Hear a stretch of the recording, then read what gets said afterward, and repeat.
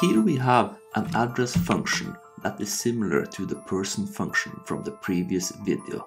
It accepts a lambda with receiver as argument that operates on an address class. We can call it the following way, where we provide the lambda as argument and where we set the data fields directly.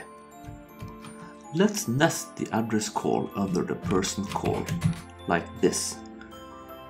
This will compile, but the address call is not connected to the person and the produced address will not be stored.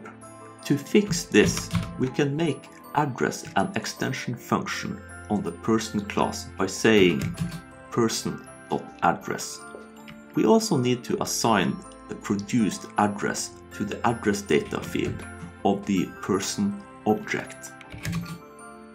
The this keyword refers to the person object being extended and is not mandatory. And that's our third building block for the Kotlin DSL.